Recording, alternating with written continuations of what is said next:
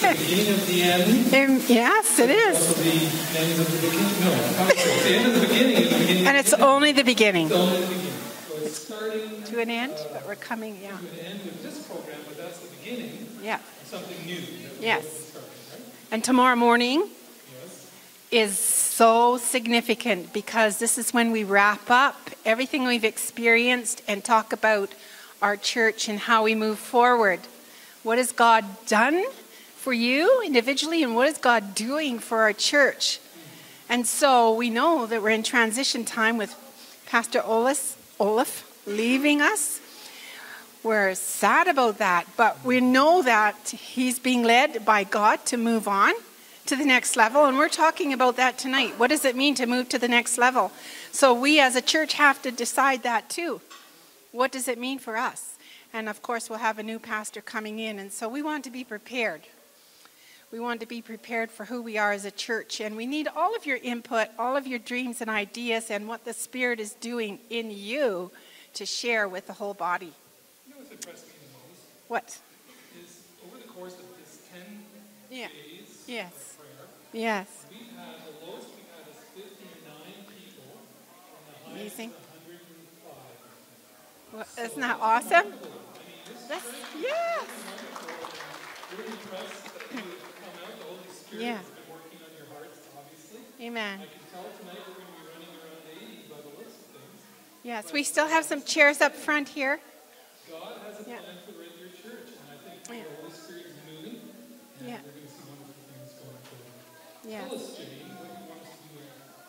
I'll start with us tonight. Okay. Uh, well, to start with, we have a question. What would you be willing to give up to go to the next level in work or your favorite sport or your hobby? Sometimes to move forward, you have to let go. It's give up. Perhaps, yes. Yeah. What, what is the sacrifice to move ahead? Or, okay.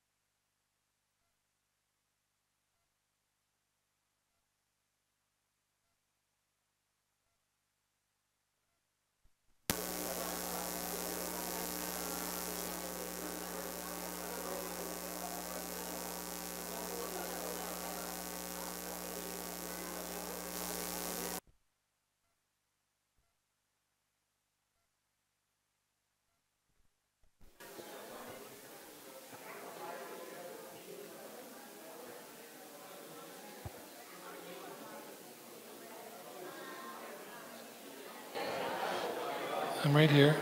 Test. Test. Okay. Let's get your attention back up here and we'll move on with our program. No. Something's giving us some feedback. Just a second. Test. Testing one, two, three. Test, test, test, test. Okay, let's try that. Okay, so. I will. Yeah, well- and then I'll, pr- you want a song and then pray? You got something else? Because we're right here. Do something, let's sing. Yeah. I will sing of the mercies of the Lord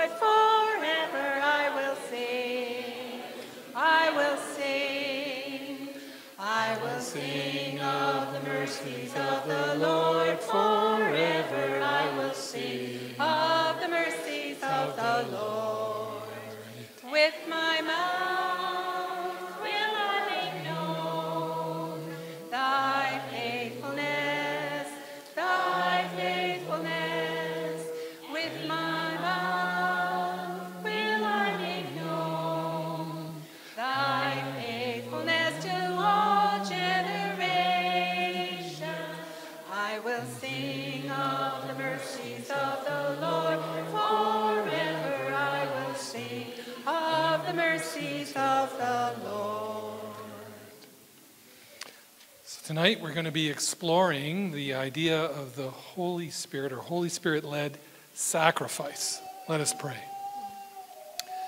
Oh God, we love you and we thank you for how you've led us over this last 10 days, the enthusiasm and the fire of the Spirit that we see burning inside all those who have been coming night after night. And we praise you and we want to ask, Father, that you'll continue this on into the future so that we might be uh, filled completely with your Spirit and might be oriented towards your work here in Red Deer in a powerful way.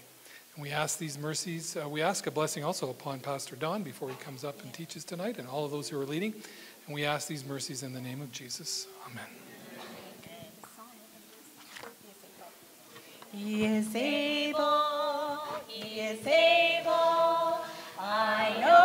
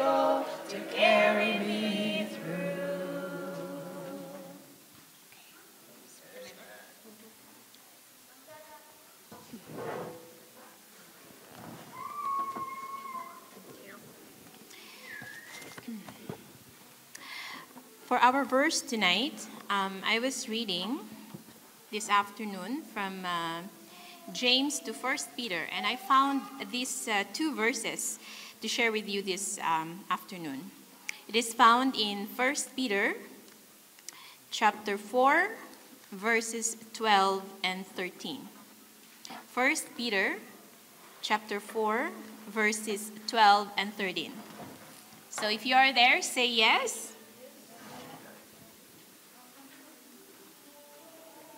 For me, this is a Thanksgiving um, verse verses. I find this um, that we should be very thankful. Why? Here it is. Beloved, do not think it strange concerning the fiery trial, which is to try you, as though some strange thing happened to you. But rejoice to the extent that you partake of Christ's sufferings, that when his glory is revealed, you may also be glad with exceeding joy. Amen. Why I chose these verses is that some of us here are going through some pains and struggles in our life. And these verses is an admonition or is an encouragement for each one of us that we don't look in the present. We look for that exceeding joy that is going to be revealed to us by Christ. When we choose daily to look to Jesus, to that joy that and eternal life that He has promised to each one of us, we are going to get there. Thank you. Can I sit now? Or you want to sing more? We're going to share in our groups now. Yeah. And it is uh, to invite you to share what God has done in your lives during this 10 days of prayer. So, some of you who are new here tonight, or maybe we're at church this morning, maybe that's why you're here tonight. So, God has moved you to come. So, we're, we're praising the Lord for that. So, take a few minutes and share what this journey has meant to you.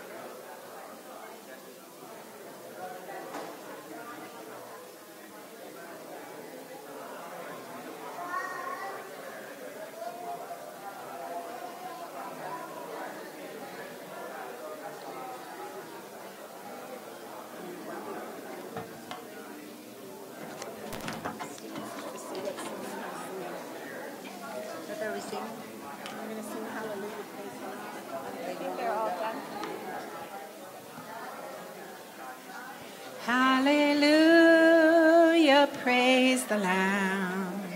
Hallelujah, praise the Lamb. My heart sings this song again. Hallelujah, praise the Lamb. Let's try it again now that you've heard it. Hallelujah, praise the Lamb. Hallelujah, praise the Lamb. My heart sings this song again. Hallelujah, praise the Lamb. Okay, ready? For our scripture of praise, let's open our Bibles to Psalms 95 1. Psalms 95 1. It says here, Come, let us sing for joy to the Lord. Let us shout aloud to the rock of our salvation. Uh, it means when we have to praise God, we should praise Him with power, with our everything. Yeah, because He is our rock. Thank you, Mary.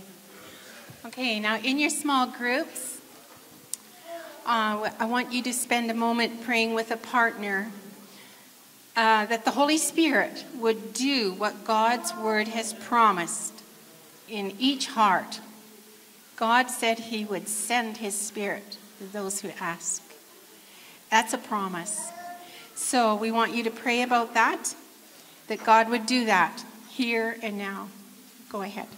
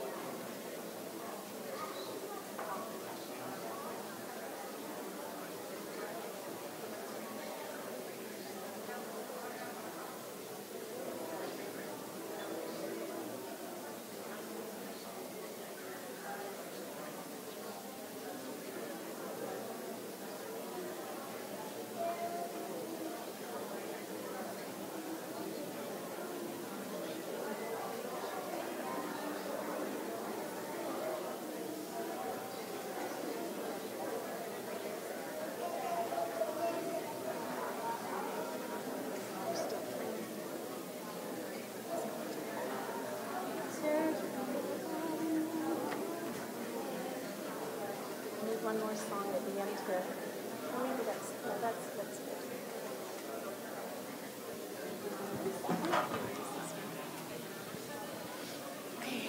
Search me,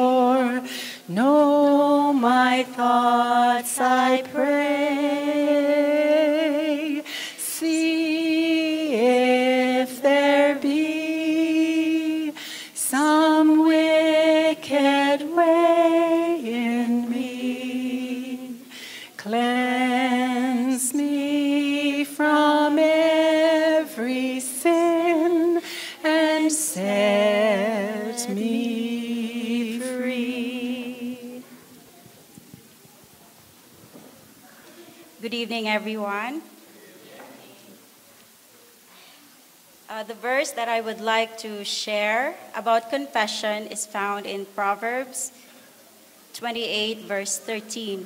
He that covereth his sins shall not prosper, but whoso confesseth and forsaketh them shall have mercy. I chose this verse um, because some of us may carry heavy burdens of guilt from the sins we have committed. God longs to give us rest from these burdens, but He cannot do it unless we confess our sins.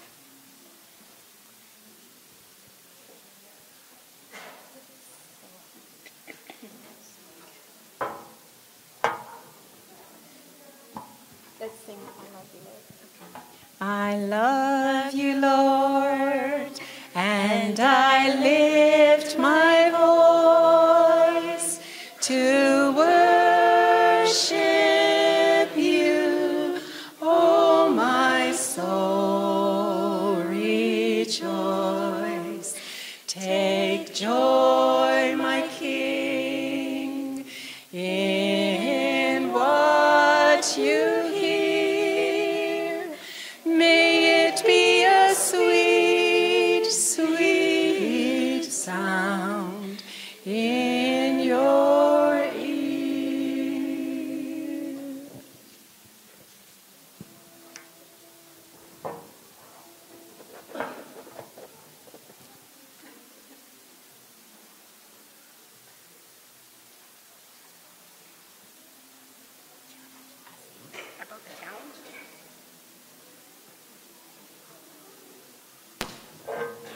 How about the challenge? And I'm thinking about the challenge to today to go and break bread, you know, share a meal, invite somebody to your home, or reach out to somebody. Did any of you enjoy that today? Did any of you try that? How did it go? Did it go okay? Good. Very good. I have some kids that have, have turned in some questions. And um, I was instructed that these must be read in front of all of you and answered in front of all of you. Don't you appreciate how kids are so direct? So, I will do my best to answer these. And if I can't answer them, then, then I will defer to my, my family of God here. Amen? And I'll say, what do I do with this one? Because kids ask great questions. First one, this is just to warm you up tonight because, by the way, uh, we won't have time to answer every question that's here, but if you have some questions about what's happened this week and it's really burning on your heart, some questions maybe is better handled just to come and talk to me or me and April together, or uh, that's fine, you know, afterwards or, or tomorrow morning when we come back. But uh, if it's something that you would like to have addressed, if we have time, we can, we can share it tonight. First one is How old is the Bible? It's a great question. These are from a bunch of our kids here.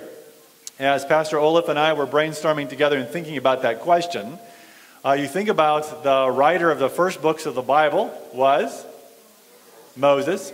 And so we went back and, and thought through about when he started writing, and we're looking at about 3,400 years ago, roughly. 3,400 years ago, the Bible was started, started to be uh, written. What do you say to that? And what's awesome, I want to say to children here tonight, but also to adults, is even though this book is so old, that is so, the truth of it is so powerful even today. So I'm grateful. So that's the first one. Uh, the next one, what does God look like? It's a great question. And actually, there's some places in the Bible that tell us a little bit about what, especially Jesus, looks like right? So we know that in the word it says his voice sounds like what? Thunder, yes, and also many waters or rushing waters, right? So that's something about not what he looks like, but what he sounds like. But then also, if you go to different places in prophecy, what else do we know about what he looks like? Give me so raise your hand if you have some ideas. Way back here.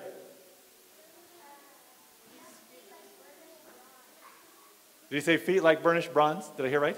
Yes, his feet are like burnished bronze. Amen. What else do we know from Scripture that God looks like? Right here. Eyes are like flames of fire. Yes.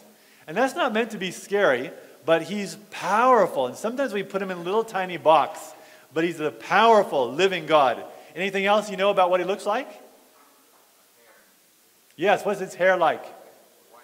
White like wool, right? So this is an amazing God, and we're going to have lots of surprises when we, when we see him. That's just a few things. And you can read more in Scripture, you'll find out even more about what he's like. What does heaven look like? Ah, this is a fun one. Oh, thank you very much. What does heaven look like? So, thinking about Scripture right now, I want us to think together real, real quick. The streets are like gold. When you come up to it, it has how many gates on each side? On each side? Hmm. Are there 12 gates on each side? Are there three gates on each side, or is there one gate? Ooh, I'm encouraged. There's three gates on each side. Amen. And if I was coming up to the gates, I would see how many foundations coming up to the holy city. How many? Twelve of them, right? Now, if you took If you wanted to know about how big is the city, the New Jerusalem in heaven, if you work with miles, sorry, but since I've come from the States, I still think miles. Is that okay? Will you forgive me? Okay, you'll still be my brothers and sisters? Okay, so I want you to imagine tonight, uh, help me out here because I'm still learning all my distances here in Canada. Um, what would be, and you translate in kilometers if you have to, but uh, about 375 miles is what I figure would be one side. Because do the math 375 times 375 is 750. 750 multiplied again uh, by 2 is and you have you're talking about how big the circumference is of the holy city. So, what would be a city that would be somewhere around 375 miles from here? Just roughly, roughly, give you an idea of how big this city is. Do the math. What do you think? Is there anything significant uh, that distance right into BC? Or can we go into Saskatchewan to a significant city? What do you think? No, no, no. I'm saying what's from this, from right here in Red Deer, if I went 375 miles any direction, would I land on some other significant place in Canada that you can think of? Just roughly, roughly. Do you think Regina could be that? Maybe? Is it possible? So just think for a second. What does this tell you about God's plans for heaven? It is, is there enough room for anybody who would choose to be there? Oh, yes. One side, one wall of the New Jerusalem is 375 miles, roughly, long. That's a big, big city. It's a beautiful place. And one of the things fun for kids to think about, but also for us as adults, the lion and the lamb will what? They will play together, right? They'll rest together. Uh, it says that the river coming out of the throne of God will have trees, one on one side and then one on the other side of the river, and it'll meet. And how, what will be in those trees? Fruits for the healing of the nations. And there's much, much more. Okay. Oh, this is a deep one. Pastor Don, what is your favorite color? Thank you to the kids. Green. I don't know if you call this green or not, but I like all colors of green. Okay? Uh, when did you have faith and how? And what happened when you found God? I will tell you one of the biggest factors for me in faith and finding God is my parents teaching me as a child you need to read the Bible for yourself. Kids, are you listening, kids? If you want to have your own faith in God, start reading the Bible for yourself. Do not read it just to say, check, I've read it, but read it looking for Jesus because remember, as we had in the worship service today, Jesus said, These are the scriptures that testify about me, he said, or him, right? So, kids, when you're reading scripture, look for what each chapter says about who Jesus Christ really is. Powerful thing. That's impacted my faith. But then there's another thing you can do. And tell me, adults and kids, if you agree with this. Your faith does not only come from the hearing of the word and the reading of the word, but it is doing what? It is walking by faith. Every time you take a step of faith, it strengthens your faith. Sometimes we are waiting for our faith to grow by sitting. It does not grow by sitting. It grows by reading the Word and acting on the Word. How many of you have a faith step you know God's calling you to do right now? You haven't done it yet. I'm not asking you what it is. I'm saying how many of you have a faith step that God's stretching your heart on? You know He's calling you to do it, but you haven't done it yet. Put your hands up. Don't be afraid. Okay? Good. Now, the way you'll end up doing that is you read the Word of God and say, Is this step of you? Is it secure in the Word of God? And if the answer is yes, then do what? Do Step out and do it and see the glory of the Lord. See His providence for you. That's how our faith grows. Okay? And finally, they're almost next to the last question is, and they said, and Pastor Don, you have to read this out loud, please, please, please. Wow, this, this, this kid is really serious about this. P.S. Sorry, but how old are you? Oh, that does not bother Pastor Don to tell you. Because sometimes we as adults are embarrassed about how, old we are. I've almost been killed so many times that I am so happy to be alive that I'm happy to say I'm 52 years old. Praise the Lord. So, and who, ah, no child has ever asked me this question in the whole world. Wow. This one I will defer to Pastor Olaf. Pastor Olaf, I'm going to put you on the spot. Kids, I want you to give your pastor a big hand because he's going to like this question. He really will. You will like it. You will like it. Come and help me.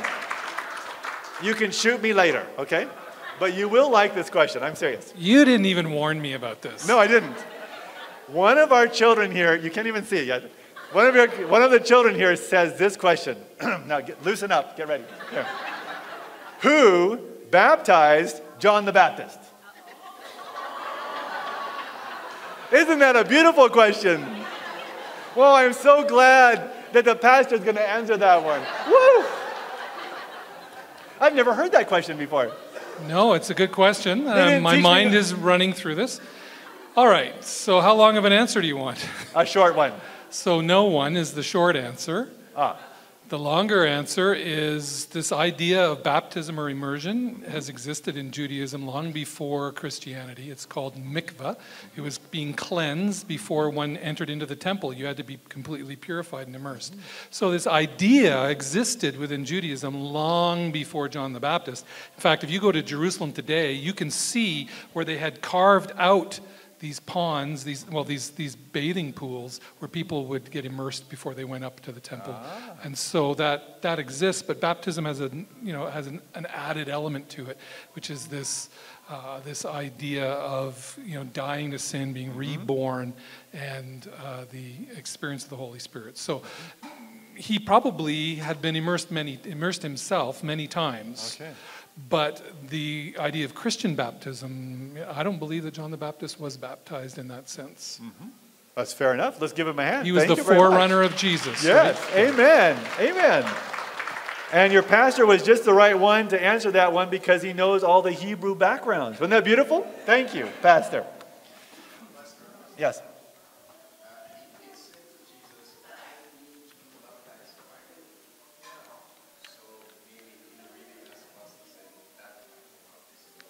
Ah, yes, yeah, like he's saying, yeah, might not have happened. Right.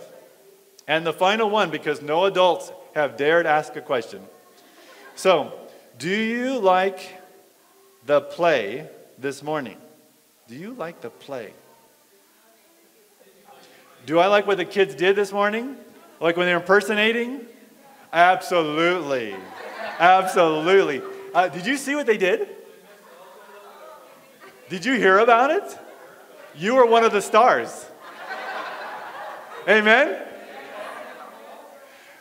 Uh, was there chocolate involved? He said. Yes.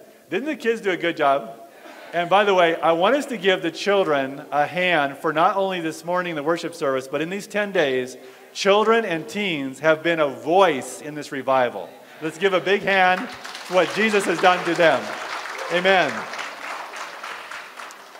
Now, if you have any other questions, adults, young people too, write them down. If I can, I'll cover them tonight and also tomorrow morning. Now, invite us right now.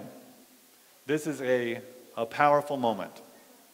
In your groups, before we go to the Word of God, we really haven't prayed yet tonight that God would totally mm, humble ourselves to receive whatever He wants to give. We haven't really prayed that yet, right? Can we do that just for a moment, just, just for another moment? Can we get on our knees and say, God, whatever you need to do in my heart so that I can experience what your Holy Spirit wants to do, would you have your way with me? Because we're ending this tonight as far as evening meetings tonight, and it's on the sacrifice. We cannot sacrifice for the Lord Jesus without him doing his work first in us. So I invite you to get on your knees with your group and let's humble ourselves just for a, a couple minutes.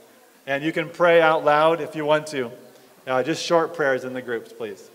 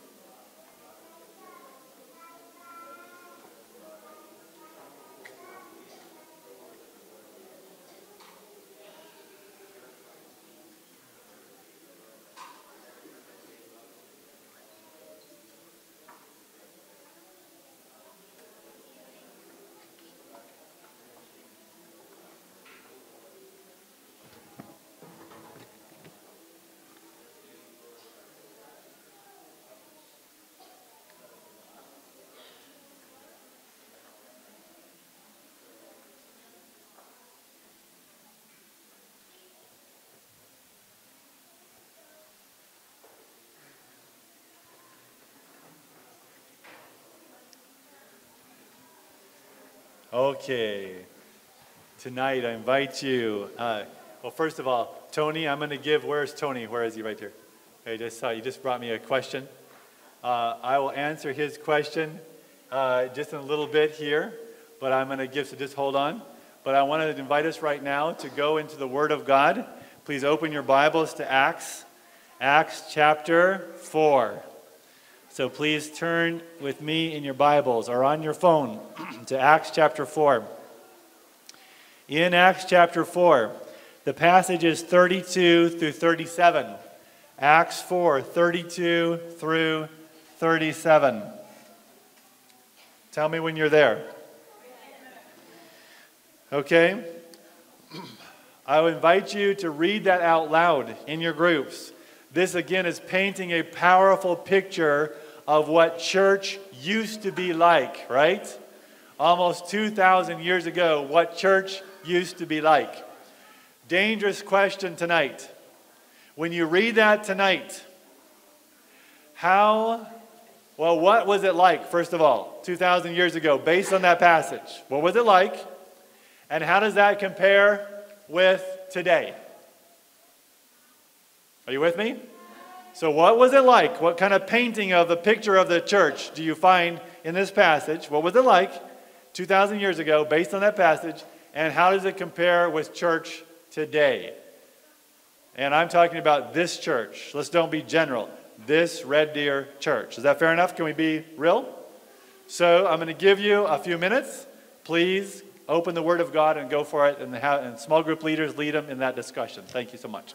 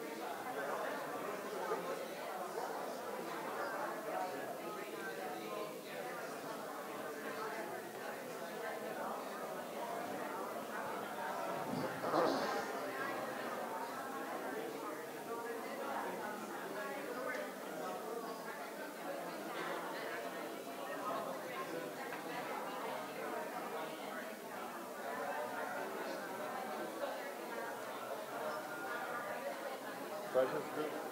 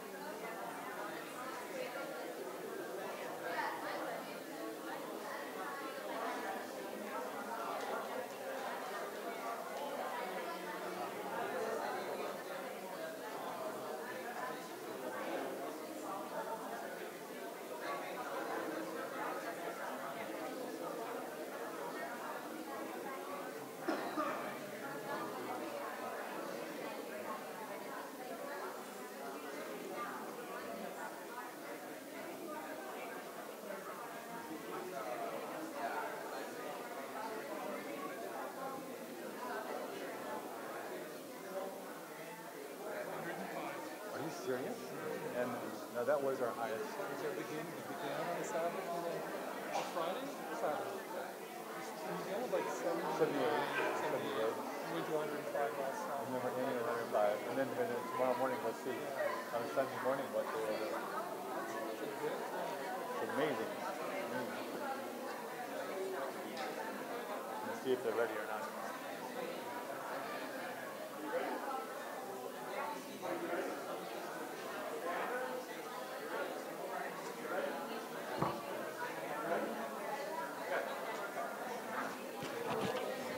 Okay, everybody. If you're ready, clap once. Now, I'd like to ask if your group wants to send me an ambassador to share just one trait, one characteristic of the early church based on this passage, then come right up here. Remember, my first question is what was the early church like based on this picture in the end of chapter 4? Shh. I'd rather have you come up here. We can hear each other better. So I need, uh, if you want to send, we don't need to have to have every group send, but uh, well, let's have quite a few groups send me somebody. And I want you to each to just give one thing, okay? One thing from the early church, okay? Come on up. Give me a few more. That's good. Okay? One thing that the early church was like. Like, what was it like 2,000 years ago? Okay? Are you ready to hear? Shh. I'm going to start with the youngest. Um, so, um, get, okay, so our group discussed this. We said um, that the church back then was more more charitable because they sold everything they had, their land, their possession, and um, and even though like they didn't um, like they didn't have much, but they still did it for the glory of God. Amen. Thank you very much. Right on target. Thank you so much. Keep on coming.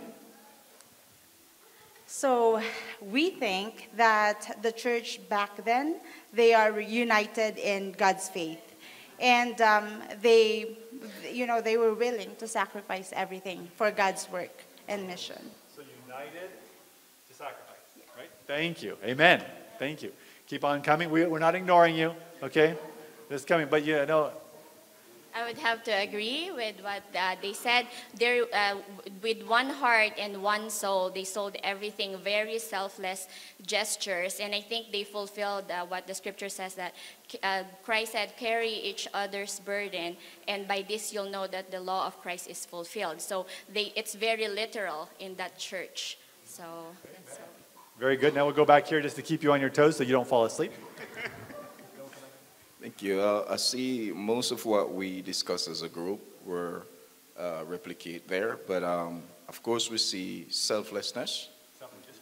Yes, sacrifice, and um, there's a there's a thought that just slipped me there. Very important, but it slipped me just now. Go ahead. I understand as we get older, brother, it happens to people like me. Okay? Thank you. Thank you. Okay, right back here. Um, our group spoke about, uh, we zoomed in on the selfless part where like they met everybody's need. So like everybody's need were met, not just one person will get the bigger share. And like they were charitable, yes, but then everybody who was there, according to their need, they were received. You know, so like um, they were more of a community service church. Amen. Thank you. Uh, let's. We, we have to do ladies first, okay? Sorry, Quasi. Okay, so. So that church back then was actually suffering persecution. Having left the main uh, church religion of state, um, they, they were cut off. They were considered unclean. They were separated out in the community. They didn't have the natural business relations anymore because they were persona non grata in their own towns, right? And so what did they do? They supported each other. They helped each other. Beautiful. Amen. Thank you. Thank you. Thank you. If you consider the uh, kind of investment that they dispose of, like houses and then the land, these are very huge, huge investments that they decide to, you know, sell and then give everything to the work of God. So you see that they have the zeal to work for God. Amen. And our last one. Um, yes, um, the text saying also that um, they were selfless. That's one point. point, and um, God gave them a benefit. The benefit in the text is that the grace of God was upon them. So, in order for us to, to receive God's grace as a church, we must be united. We must be selfless, and also we must have one heart and one mind. Sometimes in the church we have discussion and people are pulling here and there. But we need to come at one mind, one song mind, in order to receive the benefit that God has for us. So in order for Red, Red Deer to be, you know, unite, I mean, to be effective in God's kingdom, we need to be united, and also so that God's grace may fall upon us, and we can see it impact in the lives of the members and in the community in which we live. Amen. Thank you. Thank you very much. Okay, short thought. Short thought. It was trust. Trust. Trust was there, and that was the factor that I wanted to share because they, they sold their possession, bring it to the church, and at the leader's feet. So there was a, a high level of trust in the leaders of the church. And that's something that we have to pay attention to, that we need to replicate in our time. Okay, amen. Okay, last one. As you just said, they also acted on, on, on their faith. So as the Lord put on their heart, they went for it right away. Amen. Good. Now, the dangerous question, right? It's nice and comfy to say, oh, that's so beautiful that 2,000 years ago, church was like that. But I asked you another part of the question. Did you even have a chance to get to it? Like, how does it compare with today? Now, when we do that, there's an important thing that we need to make as a ground rule as we take a few minutes to discuss this tonight. We must talk about what the church is today by using the word us or we need, not you need. You need. You know what I'm saying? No, really, it changes our attitude because I am Laodicea. Are you? We are Laodicea. I can't get around the fact that in the Word of God, the last people waiting for Jesus to come are called Laodicea. We live now in the time of Laodicea. We desperately need revival. Now, send me up. Now, look at your group, small group leader. Send me up somebody else from your group who will say, What are you convicted in your group that we need in this church? When you see the description 2,000 years ago, you see what church used to be. What is the Holy Spirit saying in this church tonight about what we need to be in the Red Deer Church now in the end of time? Are you with me? So I'm going to give you one minute.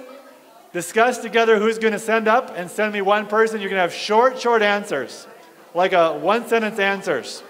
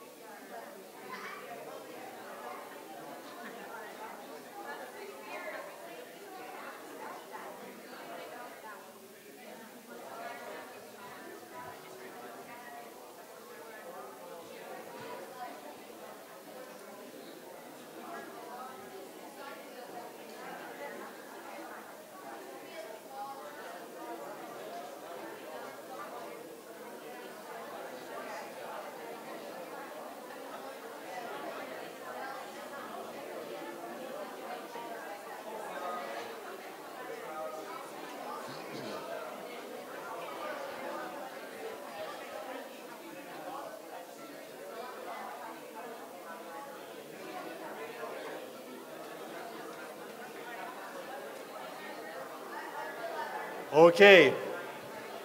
Those groups who want to send me an ambassador, send me an ambassador. Thank you. Here's my first ambassador. thank you very much. Good to have some young people here. so, uh, I'll take from this side. I'll keep on uh, having you come up. Come on up. Now, shh. Ground rules share as close to only one sentence as possible. So we have a short, so we have many people. If you start preaching, I'll say, Thank you so much, brother or sister. Thank you so much. And enjoy your seat, please. Okay? Can we do that together? Is that fine? I won't offend you? Okay. So starting out, um, remember the question is what? What are we convicted that we, what's our need in the Red Deer Church right here, right? So that we can be like what the Holy Spirit did in the church 2,000 years ago. Amen? What's your answer? Answer one. Let's listen. By the way, listen very deeply. Shh. Because I want to see with you, does the Spirit of God bring out any themes tonight from these brothers and sisters? Because they haven't compared answers, right? Right? So let's see if the Spirit of God does anything. I don't know what's going to happen in the next few moments. But I want to see does the Spirit of God make this a teaching moment for us right here? Amen? Point number one. Um, so the nowadays we're like we're afraid of going out and speaking to people because we feel like we're going to get judged or like back then people didn't care if they got offended nowadays even if you offend somebody like a little bit like they're going to be rude to you for like a whole year and um, so i feel like we need to be able to speak full of the holy spirit even when we feel like we're going to offend somebody because the truth has like the truth has to be spread around the world and yeah that's it. Amen. So help me out one second before you sit down. Thank you. This is a very powerful comment. So now we're going to bring it together in one thing. Say, we need what? We need to be bold to be bold for Jesus. Amen. Give her a hand. Thank you so much. Okay, what else do you what else does your group feel we need right now? Uh, I think we, back in the day, whatever we could give, they would give, but we don't all give that much nowadays. We need to give like they give. Amen. Give her a hand. Thank you so much. And by the way, don't change your answers because we're looking for themes, right? Right? So it's okay if you give the same answer. We want to see what the Spirit of God may be saying to us in this room. What else? What do we need? I feel like we need more involvement in mission trips and being missionaries. Like back in the day, apostles or people in church, they always like discipled to other people around um, Europe and for, at that time and to the world eventually. So Amen. So we need to be more involved. in missionaries, right? To be missionaries. Amen. Give him a hand. Thank you so much. What else do we need? More unity. Unity in the church. We need to be have a more unified uh, focus. Amen. Okay. Unity in the church. Give her a hand. Thank you so much. Come on up. What else do we need? Our group uh, say that we need family unit. That's what we are missing. Because with these meetings for 10 days, I think we've come closer to each other, know each other more, and then that's the way you can even know people's needs so that you can manage to help. So, family, more uranium, um, uh, revival and reformation. Okay, amen. Thank you so much. Give her a hand. Come on up. I think we uh, need to start uh, walking the talk. We need to walk the talk. Walk the talk. Yeah, it- we're like a, a team of uh, players, and the world is our audience. Every week we do our game plan, but all, in six days we don't do our game plan, and the world is not impressed. Wow. Amen. Amen. Uh, you know what? That one uh, cuts my heart as a follower of Jesus. Does that cut your heart? And is it true of us? Of us. If we really lived out the faith of Jesus Christ, non believers in this town would take note that we have been with Jesus, and they would say, What's this power in your life that we don't have as a non believer? We need to know your God. But this doesn't happen as often as it should, right? Because we're not really living out our faith. We believe, but we don't live it necessarily. Amen. Next one. What's on your heart? We need.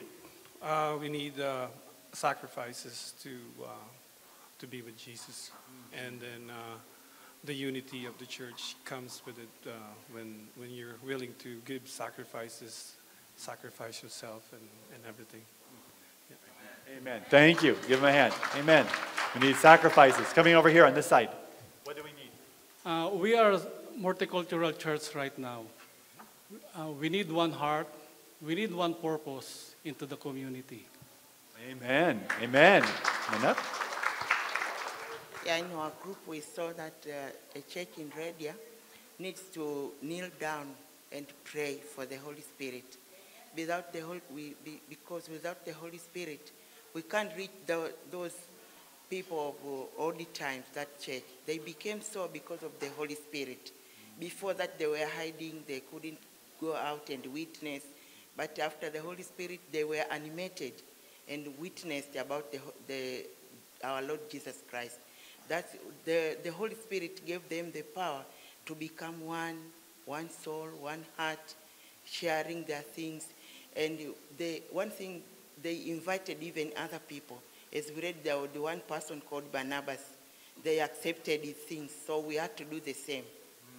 Man, thank you. Give her a hand. Thank you. Come on up. Uh, we settle on uh, unity, trust, and obedience to the word of God. Amen. Thank you. Amen.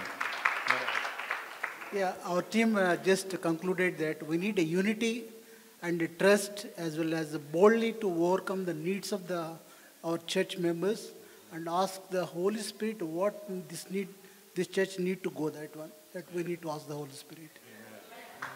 Amen. Thank you. Finally, Eric. Um, our group focused more on, um, as a church, we need faith and we need to be um, unselfish. So stop focusing on ourselves and start focusing on others as well. Amen. Praise God. Good. Now, hmm. because this revival is not a program, do you understand that? It is actually calling, we are here together during these 10 days to re, have the Holy Spirit recalibrate us. Amen? To actually make revival a, a lifestyle in our lives every day. Then we don't have this neat, tidy thing to do next that's on the program. But we have just heard some powerful things that we have just said in this room of what we need. And did you hear some themes? Did you hear some themes come up again and again? Now, yes. Unity. Is that did that come up the most times? Unity came up a lot. What else came up? Selflessness came up a lot. Being bold, more faith filled, right? These are some of the general themes. Am I right? Okay. Unity came up a lot. Hmm. Um, can I have an illustration? Uh, I need some people to stand by me who don't look like me. Okay?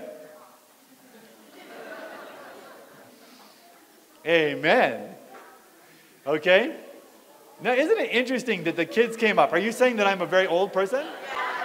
Because they're saying, I said, who will come that doesn't look like me? And all the kids come. They're saying, this guy is over the hill. So, so thank you. Now, let's do something, an illustration. By the way, praise God for you guys. I love it that you're part of this revival. Praise the Lord. Yeah, come on up. Come on up. Now, here's the danger we have in the church today. I'm going to see how you can help me with this. I need everybody. Ah, let's see how we can best do this. Our first illustration is going to be this way. I'm going to put this down. Uh, we're going to make a circle. We're going to make a circle right here. Help me out. But we're all going to face out. Okay? So make a circle with me. We're all going to face outward, all the way around. So you're turning that way. Turning. Everybody faces out. Okay? Are we doing that now? Now, let's make a circle. It's kind of a circle. It's an interesting circle. Okay, good. Now, are we all facing out? Now, we are so much. Thank you. I need a mother in Israel. So see what she's doing? We're all facing out. Are we? Are we? Are we together? Are we together? Yeah. We are all doing. Uh, uh, come to that in a second. Hold on. Hold on. You got the right idea, but not yet. Okay? This is who we are in North America. We are very much our own individuals. Am I right? We like to do our own thing. We do not know much in North America about how to actually be a unified family of God when we look so different from each other. Right? But could this be our greatest strength in North America? Could it be our greatest strength right here in the Red Deer Church? That God would trust this church with people from all over the world in an unusual way to me. Precious way. Is it possible that it, it could be even intentional from heaven that this church could represent even the world church for some purpose that we don't even know yet? Is that possible? So kids, what should we be looking like? We're now we're facing away from each other. You help me out. What should don't tell them yet. Let's let them work on this. What should we do to show we're unified? Look at so each you other. help me out. We look at each other. So I'm looking at you. Hold on, hold on a second. I'm looking at you. Does that, does that mean I'm unified with you? Hold hands. Hold hands. Is that better? Okay? Okay? Now, is this better? Yes. Uh, what do you think? Is this better? Uh, and maybe, are we still a little too far apart? What if we come in a little bit closer? A little bit closer? Whoa, that's good. We don't want to step on each other. Hold on, brother. But this is what we need to do. We need to come close together and be on one team. And we also need to do something else, kids. We can't just be together.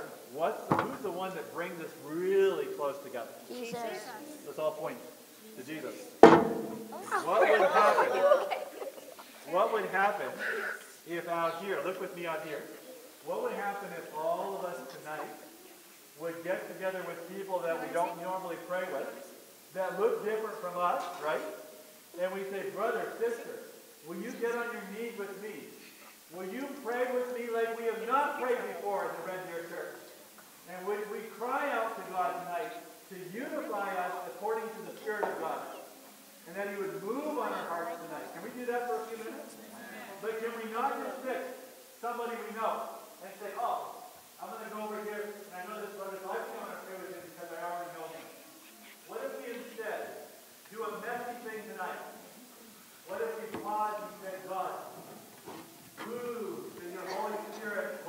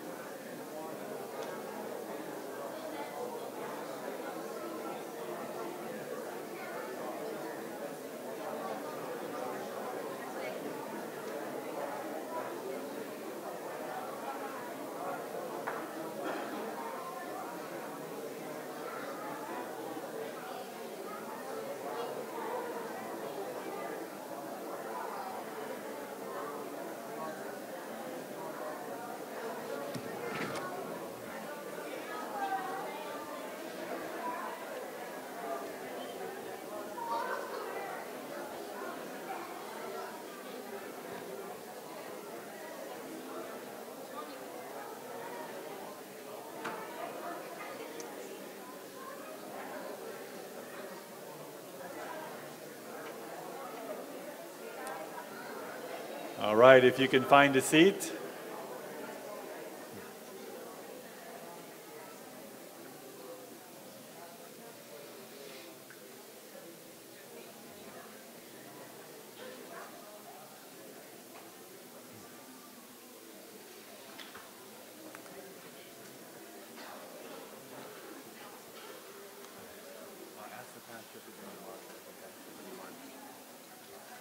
Uh, amen? Is God doing a, a special work in this church? Yes, He is. Please find a seat. Okay. Jason, by the way, right here, uh, helped us with some research. Thank you. If you can just put him right here. And he just found out that 375 miles away from Red Deer is a little town called Lolo, Montana. And that's 375 miles. It's just one side of the New Jerusalem from here to Lolo, Montana. What do you say? That's how big our Heavenly Father's plans are for His people. Praise the Lord. Thank you, Jason, for that. Appreciate that. Now, a few things. Are you still okay? You okay? How do we know the Bible is real? Now, shh. This comes from you right here. A couple things. But you know what? Actually, because we're the body of Christ, how do you know the Bible is real? Very short answers, one sentence answers. Raise your hand if you've got an answer to this, because this is opportunity for you as a body of Christ to actually be used of the Spirit to answer a question from a fellow believer. How do you know the Bible is real?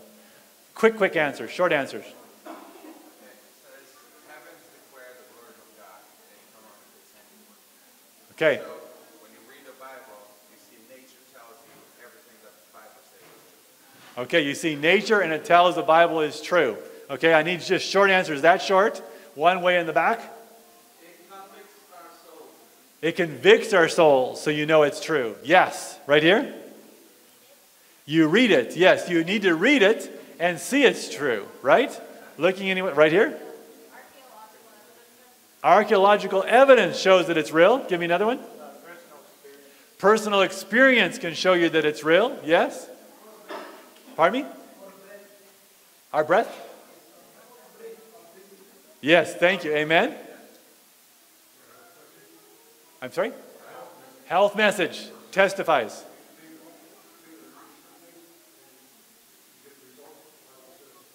Okay, did you hear that one? The health message itself from the Bible, he was saying, if you follow it, it shows the Bible is a true testimony because it works, right? Okay, give me a few more. Prophecies fulfilled is a huge evidence for the for Scripture. Yes. And it says the, the heavens and earth will pass away, but the word of God stands forever. Way in the back.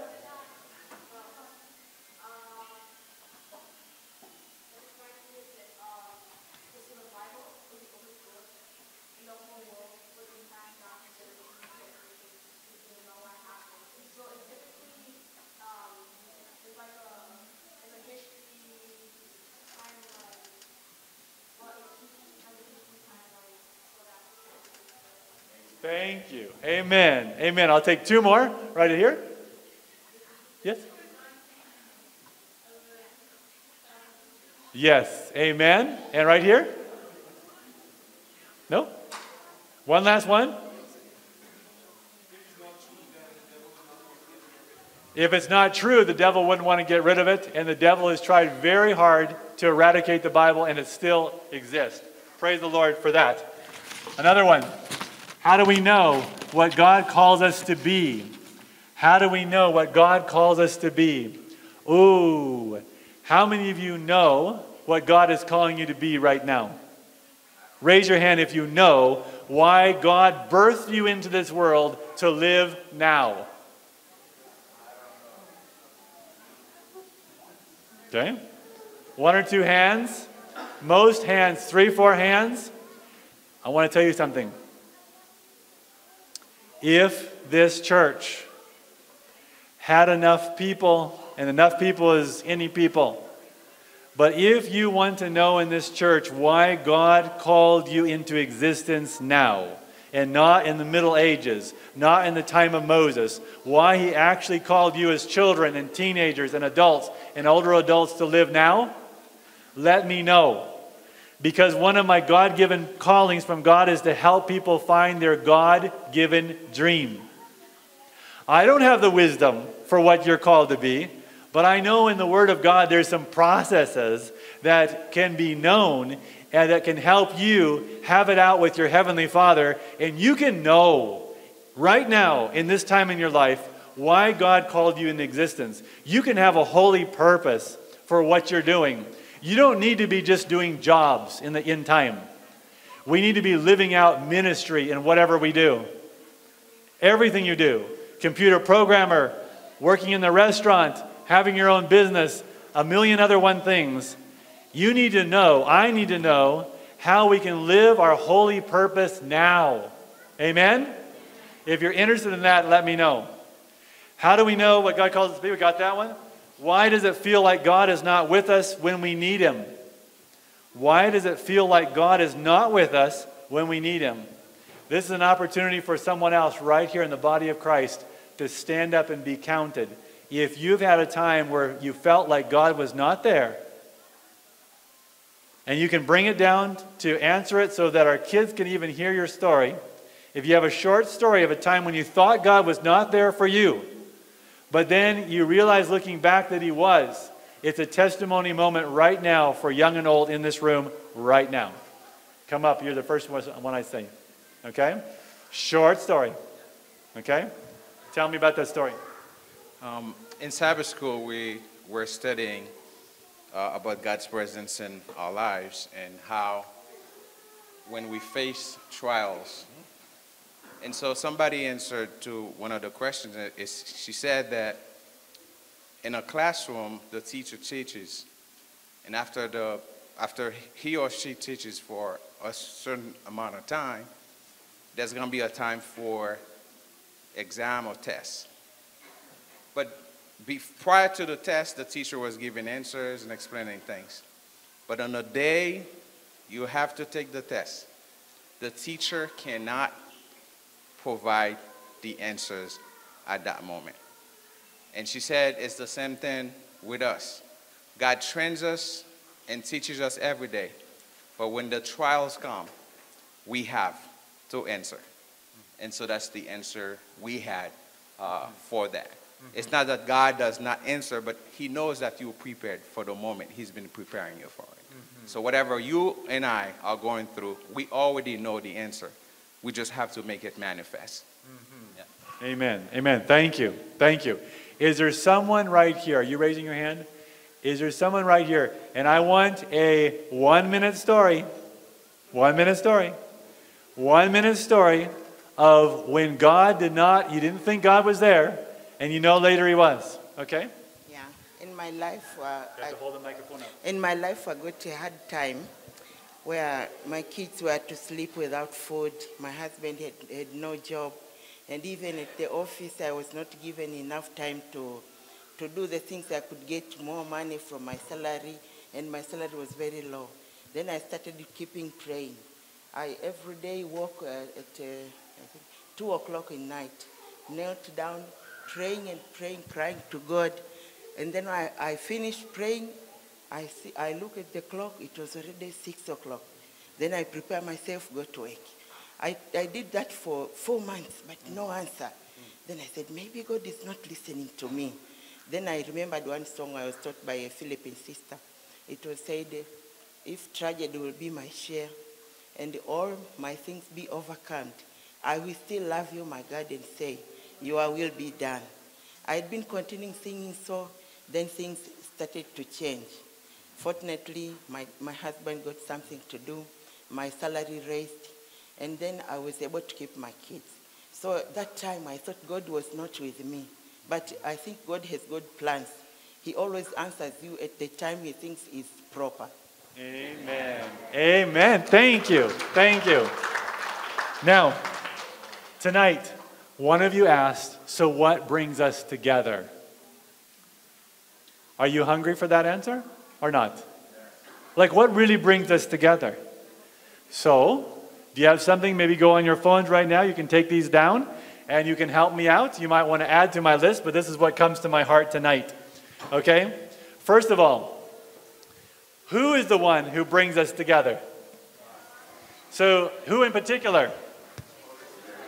Yes, and the focus is got to be Jesus Christ. So, he is the Alpha and the Omega, the beginning and the end. If this church wants to be even more together, then who must be lifted up?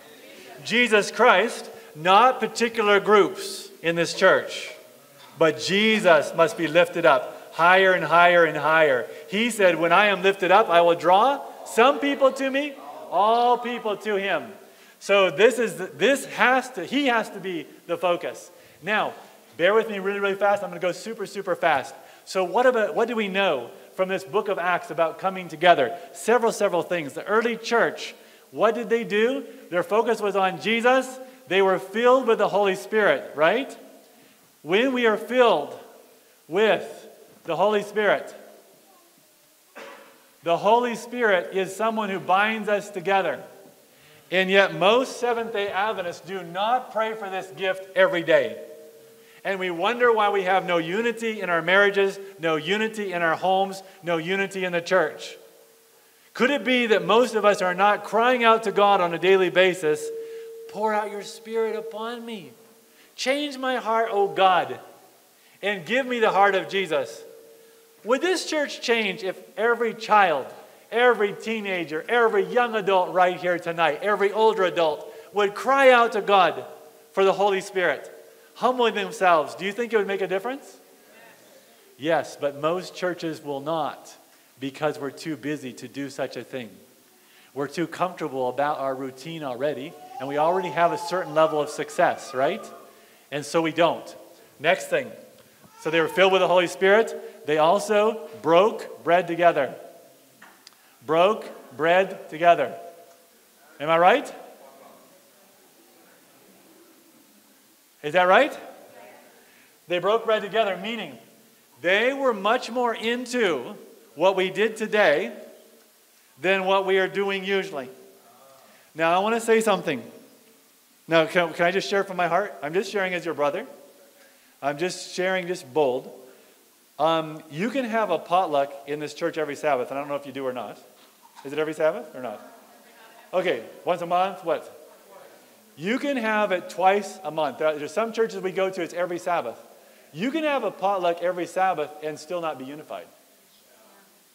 You can have a potluck every single Sabbath, a beautiful potluck where you all come together and not be together. In the book of Acts, they broke bread together somewhere in the home. And there's something about going into each other's homes where all of a sudden we realize, ah, you're my sister. Ah, you're my brother. Ah, you're my brother. You know what I'm saying? And we all of a sudden realize we're not just church members to sit next to each other in church and go, uh huh, amen. We are family. But you don't get that feeling until we start going and going out of our comfort zones and saying, Come on over, brother. Come on over, sister. And likewise, and you invite me to come to your home and to, to break bread together and to pray together. Pray together. These are huge elements about being unified. Focuses on Jesus, filled with the Holy Spirit, breaking bread together, praying together, and they were on mission together. Without, a, without mission, a big enough mission for the Red Deer Church, you'll have no reason to come together. There must be a purpose for this church that's bigger than any one interest group in this church. Something so, so big that it's impossible to do without the intervention of God. Why do I know this? The last churches I was, I was in, God humbled my heart and talked to me about how He wants to unify a people. I had many people, right, April? We had many people without jobs in our last church in California. It was not a wealthy church, it was a hard place for many families. Many, many families wrestle. It's a, it's a, uh, it's a part of the United States that has a high uh, joblessness. Fresno, California. You can check it out later. You've heard Fresno, California, bad place for jobs. So don't go there unless if God called you. In that setting, one uh, day, I came back from a mission trip with a need. But let me back up. When I was in Zimbabwe by Solusi, Solusi College, um, I went there one night. You have time for a story? This is the last story of the night. Okay? Is that all right or not? Children, are you okay? Are you too tired? In at Solusi, when the stars were out, uh, I was all finished training for that division for several weeks. I was tired. And the chaplain said, Come and speak to our young people, a couple hours away in Solusi. And I was supposed to go and, and look at the wild animals the next day because I love outdoors. They wanted to take me out and, to, and have a day off. And I was like, Yes, I'm ready for a day off. And here this chaplain said, uh, Pastor Don, we have nearly a thousand children. And you came a year ago and spoke out by the fire. Will you come and speak to our, our children? And how do you weigh that? A day off, which I needed, but a thousand children waiting to have Jesus lifted up. And so I, I, I prayed very short. I said, God, what should I do? And he said, Go. I said, Okay, I'm going. It was about that long of a decision. I said, I'm coming. So I went that night, and um, the children were waiting, and they were singing for two hours, waiting to come. Such hunger for Jesus. And then finally, I said goodnight to all the kids, and I said, uh, Where am I staying? They said, Well, we don't know. We weren't expecting you at Solusi. I said, Oh. And I was thinking about the hyenas and, the, and everything else out there. And I said, You do have a place for me to, to stay tonight. We'll find you a place. So they took me out, out, up against a, a, a dormitory where the older students go, because of course I'm older, kids, I'm older. So they took me to the older student place, and, uh, and about a stone's throw away is a high fence that keeps, keeps the leopards out most of the time. And that's where they decided to put me. I thought, oh, nice, nice. I heard strange noises as they took me up there. I said, oh, I'm so, I said, that, that fence really works, right? And they said, oh, yes, Pastor, don't worry, don't worry. And so I said, okay, great. I said, where to go? They said, here is your key. They gave me a key, a skeleton key. How many of you have seen a skeleton key? Do you know what a skeleton key is tonight? Did any of you know? No one, you knows. It's an old-timey key. It's a metal key, and it has a strange um, pattern on the end of it. It's hard to even describe, but it's a strange, long middle key. And they said, here is to get into your room. Thank you very much. So I said, good night. And I put in that skeleton key and turned it once, and I went in, no problem. And I said, good night. And I went down on my knees after getting ready for bed. And I said, God, I said, I'm not supposed to be on this campus originally. I was supposed to be in a game park. But for some reason, you have me here. I spoke to the children, but I'm here for 24 more hours. Is there something else you have on your heart? Why would you put me here tonight? We must be asking God more and more and more, why did you put me here today? Right where we are, in our business, in our home, in this church in Red Deer, we need to ask, why are we here? And I asked, and God said a strange thing that night. He said, Come out under the stars. There's something I have to tell you. It was not an audible voice. God speaks to my mind and to my heart, which He does so many times down through the centuries for God's people. God does not speak to us in this room because we are so special more than anyone else. He speaks to people who are listening. I've spent many, many years not listening, being busy. I'm trying to learn to listen. Just being real with you. Are you trying to learn to listen to that still small voice? I'm trying to learn. Slow down and listen. Hard lesson for this guy to learn. So I go out under the stars. The stars are almost like you could just grab them out of the sky. How many of you have been in Zimbabwe and seen the stars? Am I telling the truth? You can almost go like this, right? You can just almost grab it, right? I mean, it's so bright. And I was there and I said, Oh, this is a good place to talk to Jesus. So I went on my knees in the tall grass around me and I'm listening to, with my eyes big, right across about that far away to that wall, I heard the sounds of big animals on the other side. And I said, Oh God, I'm glad you're big. Why did you call me out here? I'm going to pray real fast and run back inside. So I'm praying, and I said, You told me to come out here. What's on your mind? What's on your heart? No, I'm telling you. I mean, okay, you can laugh, but you know, hey, hey, most of those leopards have not seen someone that looks like me, so they might find me interesting. So it's dangerous. Okay, it's dangerous for me. So I'm praying, and God says, Ask me one question. I said, What do you want me to ask you? Or one thing. And God says to me a strange thing. He says, Ask me to do much more for Africa. Huh. I thought, why does God need me to ask him to do much more? Now think about this. What an interesting thing to, for God to say. But God wants us to ask him to do more so he can show us his glory and his power. God is waiting for us in this room to ask him to do much, much more for this church, for this city, for our family, and for the country that we represent besides this country. Amen? So I think I'm looking around, no one's listening. I say, I feel a little bit funny because, why does he want me to ask that? So I sit in the darkness beside Solusi in the high grass, so God, do much more. I'm asking you, do much, much more for Africa. I cry out to you in the powerful name of Jesus. Do it. then I waited, and I said, Was I supposed to say something else? And I waited, closed my eyes, still hearing the strange animal sounds, and I felt peaceful. Just peaceful, like that's what I needed to ask. So I went back to my room, took out my skeleton key, and I said, Oh, now I can finally sleep. And I slapped it right in there and turned it, and it would not open. Huh. And I tried it five times, 10 times, 15 times. If you know what a skeleton key is, it is not like a magnetic card. There's no complications to it. There's no mechanical issues. It's a simple kind of old timey key. It just clicks and it opens. 15 times it doesn't open. I'm getting frustrated, okay, because I need more of the Holy Spirit. I'm getting frustrated. And I'm turning and twisting and saying, God, have mercy on me. I am so tired. I have been preaching and teaching all day long and traveling to Solusi. And why can't I get in? And the still small voice of God says, You're not getting in because you just cried out to me to do much more for Africa. And there's somebody you must see tonight in this place. That's why you can't get in yet. Ooh. Now I'm looking around. And now the dorm lights are all out. And I'm thinking, uh, God, quick answer everybody's asleep. So can I get in? No. There's somebody you need to see. But Lord, they're all asleep in here. So I mean, I, all the lights are out. There's somebody you need to see. Well, okay, God, because I can't get in, I'll go.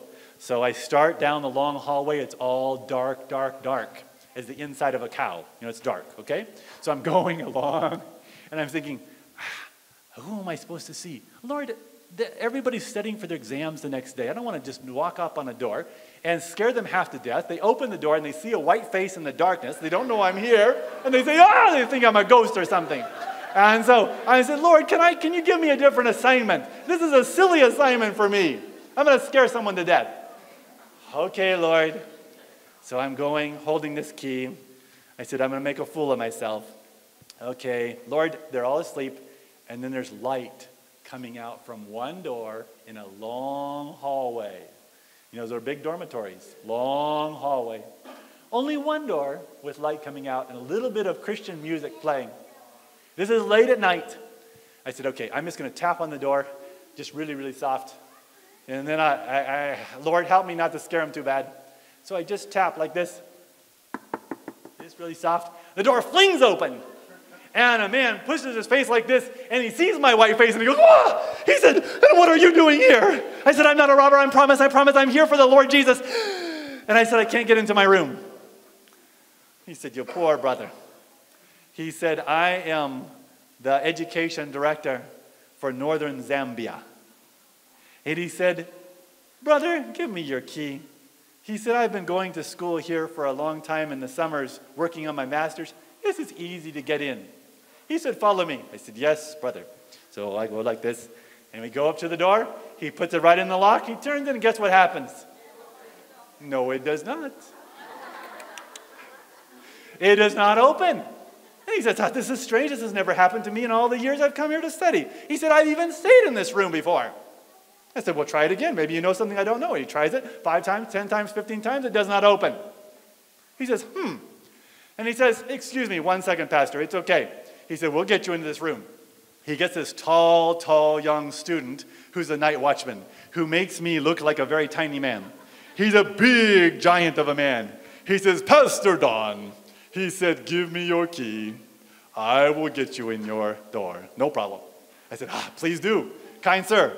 And so he takes my key and he goes, and he's a big guy. His arms are like this. like this, and he just goes like this, and he's doing everything he can do, and he's bracing up against it and everything. He's starting to sweat. And it's a cold night in Africa. It's a cold part of the, of the, of the year. And he's starting to sweat. And he says, Ah, I've never had this happen before. I cannot get in this door. He said, I will wake up the dean. I said, Oh, no. And he goes and wakes up the dean. The dean comes with a whole basket of keys. I have many keys that work in this lock. No problem. I said, Well, hallelujah. Praise the Lord. Please have at it.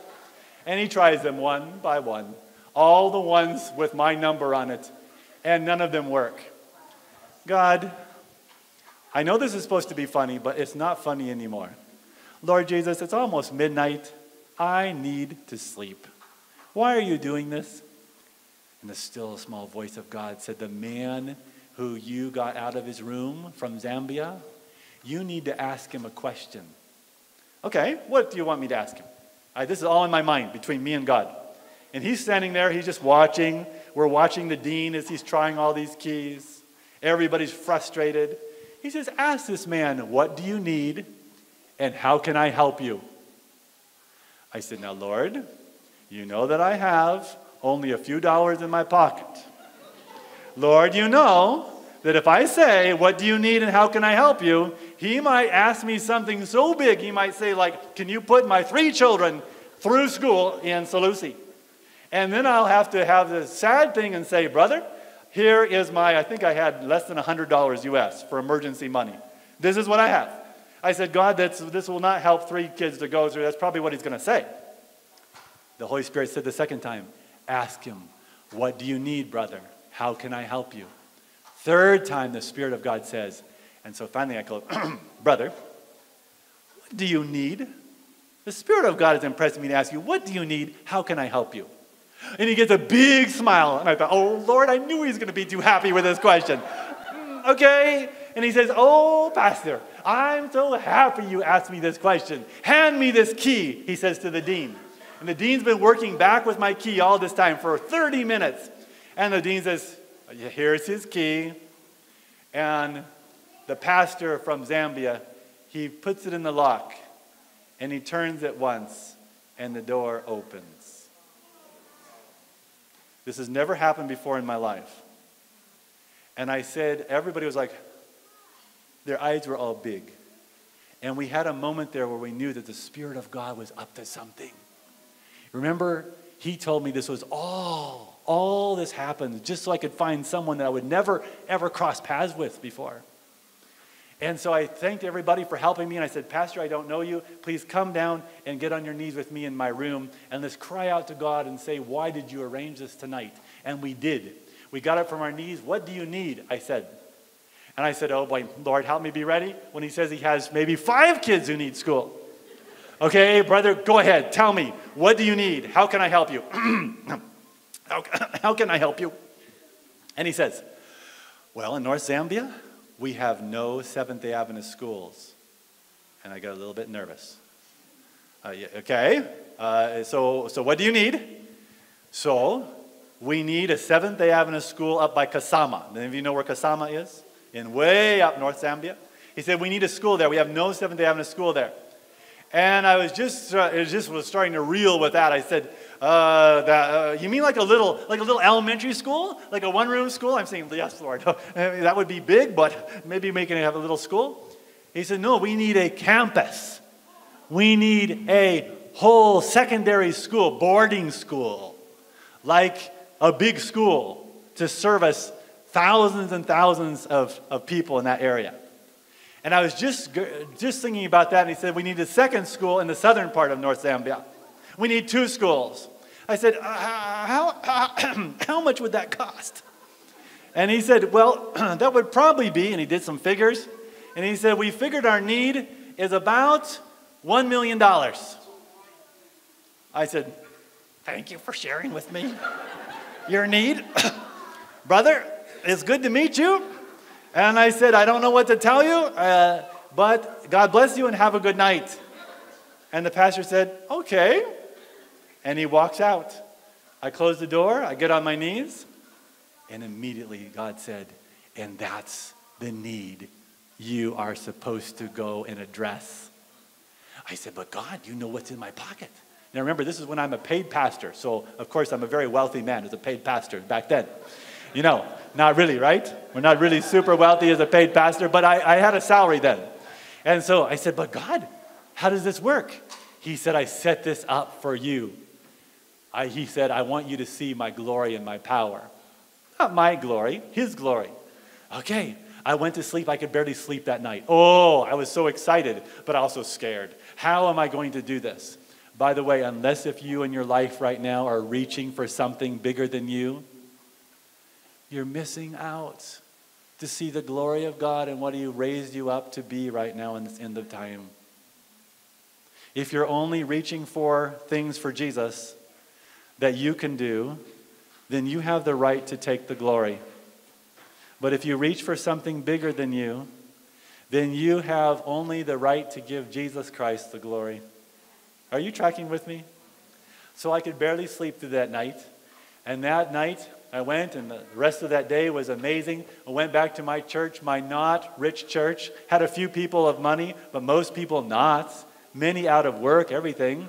And I went to my elders and to my church, and I said, God has shown me this in the night sky. And I told them about the key. And I said, What about building these schools? And the people said, uh, are, are, you, are you looking at, are you, are you talking to us, Pastor? Uh, uh, are you forgetting the church that you're pastoring? I said, No. I said, they said, How would we ever even touch that need here? We don't have that kind of money. How would we do that? Some of us are not even putting food on our table very well because we're out of work. How would we do that? And I said, Can we get on our knees and ask Jesus if this is of Him? And, they, and my elders and my church board got on their knees and they cried out to God, Are you in this? This crazy story? Are you in this? Or is this just something that we're not having to be worried about? And as they got on their knees, the Spirit of God came and moved on the hearts of my elders, every one of the elders of the church. And then he moved on the hearts of the church, their board, so much so that they got up from their knees and they said, You must take it to the church. And they took it to the church all together. A congregation a little bit smaller in attendance than here, but close. Similar, but a little, little smaller. And took it to them. And there was gasp, and people said, What? Us? I could see them whispering in the pews. Would you go on your knees and ask, Is this a mission that God wants us to have? And they got on their knees, the whole congregation, and they cried out to God, God, why did you show our pastor that crazy wild need in a place we never get to go to in North Zambia? Why do you want to, why do you want us to do something about that? They prayed and cried out to God, and the Spirit of God came upon the congregation, and they stood up and they voted with a secret ballot. And you know, on that day, it was all unanimous except for two people. Unbelievable. Almost the whole congregation said, We will do this not by our power, but by the power of God.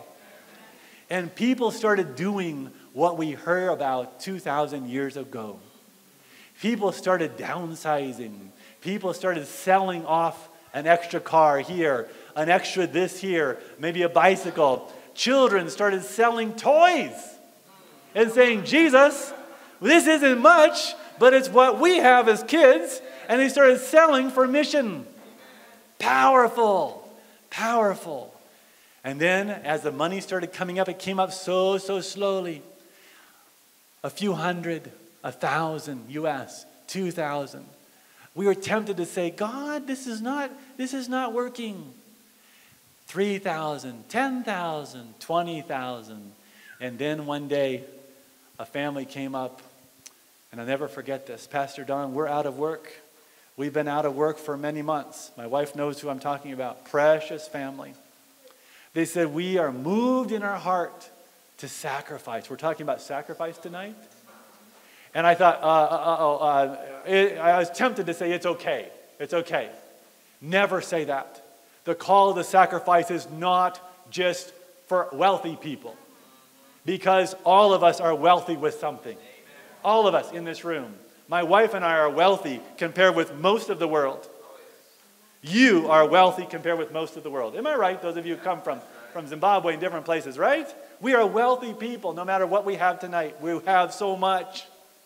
This family come up and say, up and say, we have very, very little, but we decided that every time our family, our children, we got on our knees and we're struggling to pay our bills, we said, God, what can we do for this mission, for the children of North Zambia?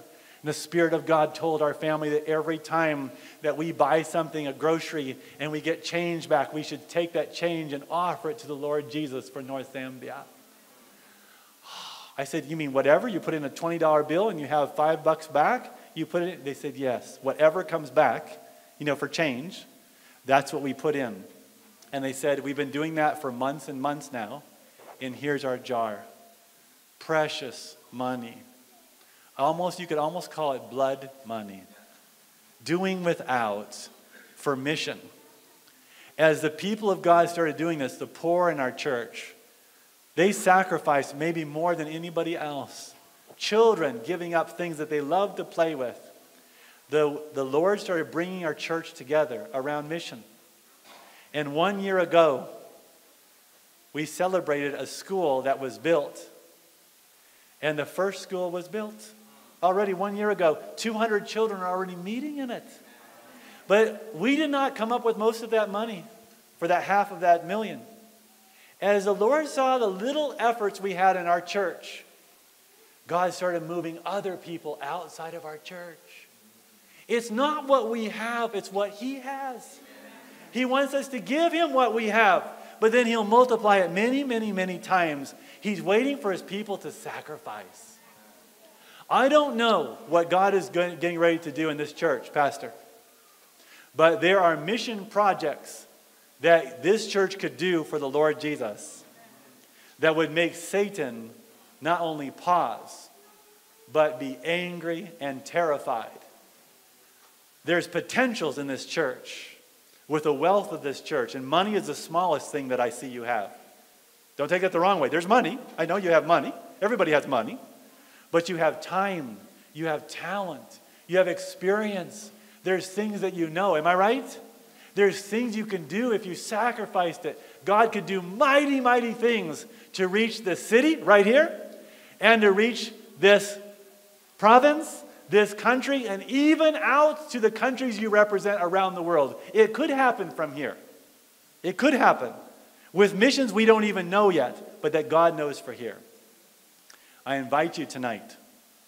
I invite you tonight to go out and stew on this, pray on this. Because there is one more thing that can unite this church. But I hope and pray we do not wait for this factor. There is something that down through time has always united God's people, and that is this thing right here.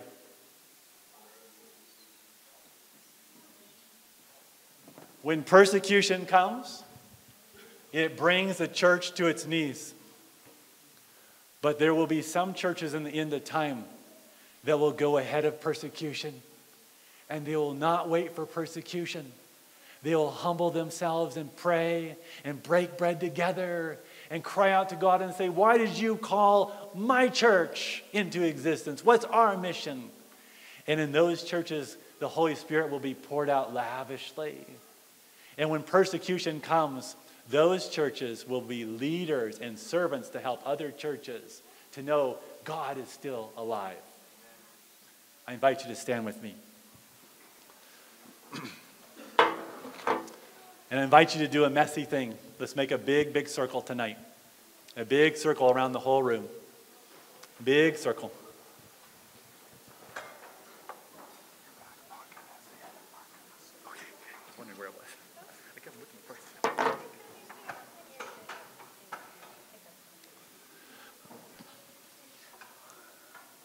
Uh, we may need to back up. Let's go on the other side of the camera if we can go so we can get everybody back there. Let's, let's get everybody in the circle.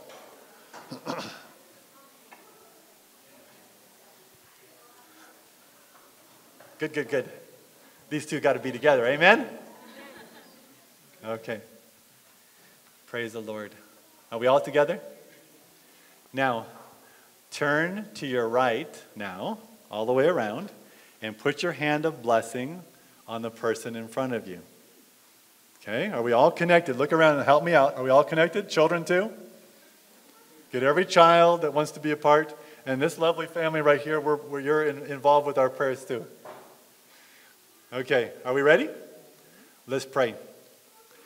Dear God in heaven, as the Spirit of God has been asked for again and again to these 10 days, we ask right now in this room that your Holy Spirit would be poured out on that person in front of us.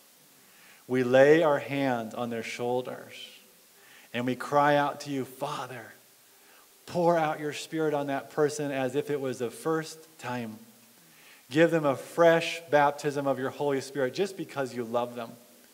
If our brother or sister in front of us is playing with sin, is compromising their faith, then God convict them of anything that's compromising Jesus. And don't convict them to discourage them, but convict them to run to Jesus, who's the author and finisher of our faith. If the person in front of us has been too busy for you, too rushed with you, I pray you whisper to them to come away with you every day, to be in your word looking for Jesus and finding you, to come to you in prayer. If the person in front of us has a heartache, is burdened by something too big, may the Spirit of God lift it. Hmm. May you bring healing to the person in front of us that we're laying hands on right now. Healing where they need to have healing in their heart and in their soul, most of all. Heal them where you want to heal them. And God, pour out your Spirit on them to send them out. First of all, in this church, to start reaching out to portions of this church that they are not united with. But secondly, as they come together with other brothers and sisters in this church, make this a sending out church all across this city. Amen? All across this province and across this nation and even to every country represented in this circle and more.